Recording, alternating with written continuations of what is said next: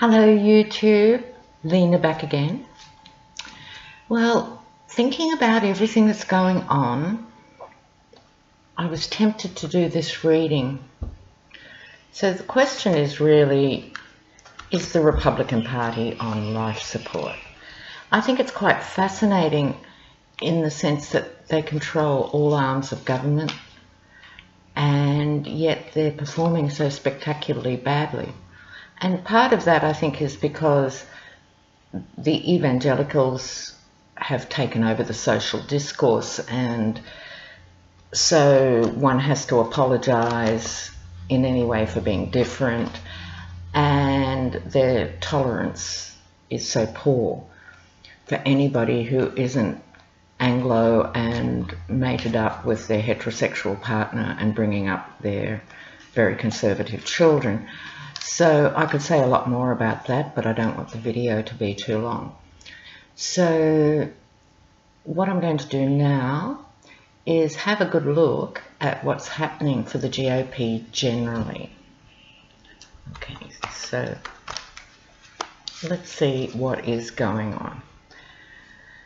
The Republican Party, the party of the sort of narrow-minded hypocrites, it's not only the social issues, it's broader political issues in the sense that they tend to control um, the ideas around what working families should think and do. So you have a situation where working families, by voting Republican, actually vote against themselves and people vote themselves out of healthcare. It's quite bizarre, particularly when you come from a country like Australia or the UK or Canada or Italy or Spain or Greece or anywhere really that has universal healthcare.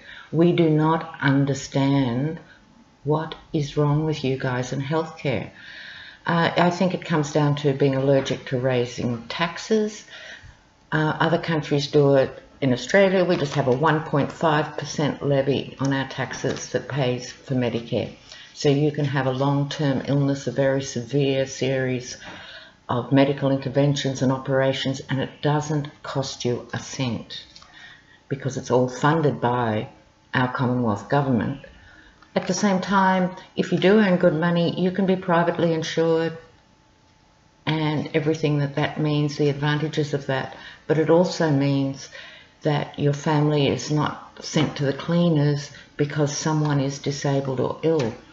So I really don't understand the Republican Party in this sense, uh, even though I'm familiar with their other more dogmatic points of view about everything because we have them too. And the Christian right in Australia is gathering momentum as we speak.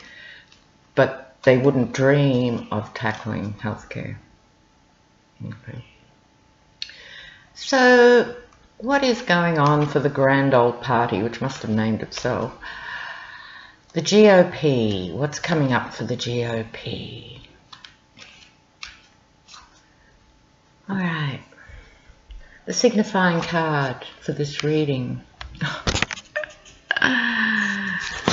ah, yes, death. Really? Death. Um, I did jokingly refer to this as should the GOP be on life support, and here comes the death card.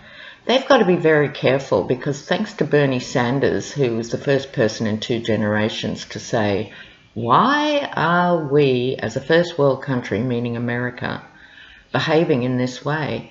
And I think it could be the beginning of the end for the Republican Party as we know it, um, it's not to say right-wing bigots won't form other parties. I'm sure they're more than capable of doing that. It's not that they can't upset things. It's not that they can't pass a lot of terrible laws.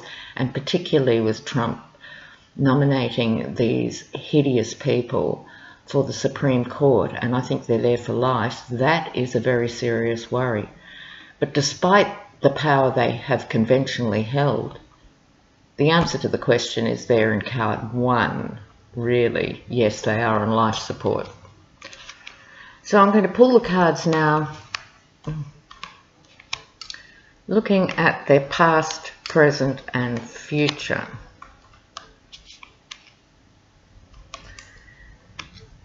And coming up here is a series of very interesting cards.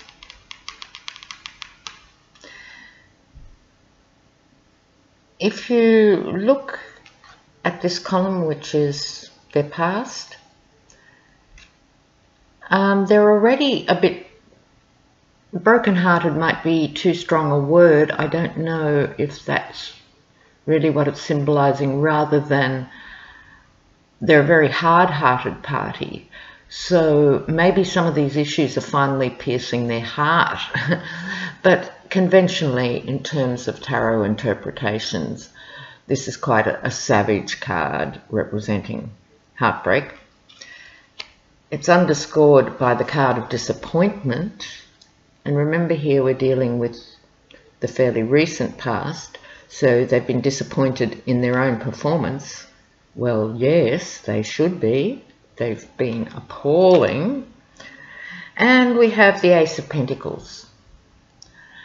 Pentacles representing money and aces representing a primary force.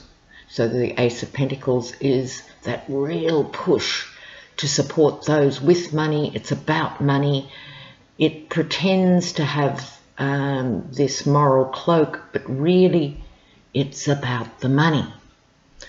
Now, if you look, I call these cards in the Rider-Waite deck the Hand of God cards. All the aces have this mysterious Hand of God going on here. But if you look below, there's um, this gap in the hedge and my interpretation of that is repeated experiences, keeping going round in a loop, keeping going back through it. So not quite making good on their promise of if you protect the rich guys, everyone benefits.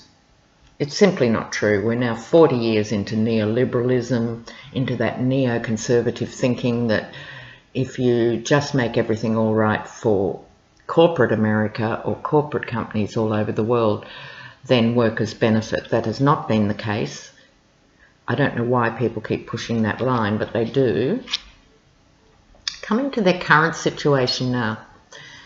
Here we have the Eight of Staffs, Eight of Wands. It's about projecting quite violent and quick psychological weapons against people, or in fact receiving it. So depending which side of the card you're on and, and looking at it as a whole Republican Party, I think they're throwing out their spears or wands, but they're also getting a lot. For the first time in many years, they're actually getting a lot of flat for these outdated ideas. Bang in the center of the reading. I swear I did not fix these cards. The Emperor, Trump, he's in the middle of it. So we should all be on our knees thanking Trump because if you're not a fan of the Republican Party, he's done more to destroy it than would have been thought possible in several lifetimes. So there he is, centre stage, beautiful. More wands, page of wands. So the page of wands conventionally represents a younger person who's out there and the wands representing uh, the capacity for willpower and oratory and so forth. The big problem confronting the Republicans, I think, is recruiting the next generation. Because as people look to their policies and the failure of their policies, I think they'll have to answer for that, lest we forget the death card on top of this entire reading. Their immediate future, we have the Fool. What I'm picking up from this reading in this context is they would be seriously foolish to keep going the way they are because if they do, they're going to walk right off the cliff. So in other words, it's a case of adapt or die. And that is the challenge facing the current Republican Party. Adapt or die. Either become more inclusive, become more humane, or you're just going to disappear off the face of the earth as a major political force. Another hand of God. this time with the swords. So swords, just reminding you, representing the intellect, the power of ideas, the power of communication. Um, in a more positive reading that didn't lead with the death card, in a more positive light, it would be cutting through the crap, you know, clearing the way, new ideas. But in the context, I'm more interested in the top of the sword here, which has the crown. And if you look at the wreath, which traditionally was the Greek wreath of victory, it's looking a bit limp. It's looking very limp. So, in other words, when I look at it in conjunction with the Fool, if they persist with these old ideas and just expressing them more forcefully, they're not going to benefit from that position. Next, the card of the manipulator, the juggler. So they're keeping the balls in the air. They still control the White House, Senate, House of Reps. Um, and they are keeping these balls in the air, but time is running out. And it's a dance, as you can see from this figure doing a sort of jig. Um, jugglers can only juggle for so long. The best juggler in the world is going to get tired and start dropping some balls.